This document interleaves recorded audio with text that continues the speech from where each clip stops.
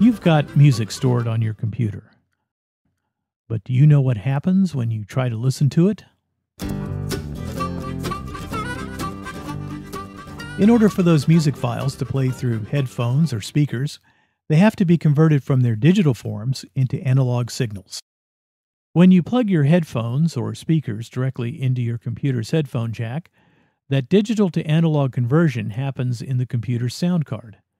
A sound card that, more often than not, does a fair but not great job of conversion.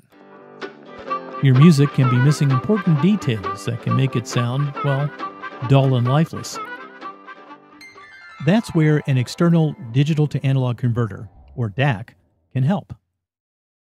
Through your computer's USB port, it receives the original digital file and converts it using its own high performance DAC. You'll hear your music with all its original detail, which means it will have much more presence, which means much more musical enjoyment for the listener. You.